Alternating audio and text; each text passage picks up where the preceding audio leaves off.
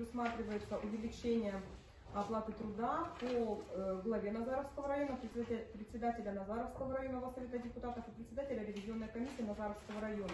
А, отличие от предыдущего положения по оплате труда, а, в данных категориях нет окладов, а есть денежное вознаграждение, денежное содержание. А, точно так же мы индексируем с 1 июля 2022 года на 8,6% данные оклады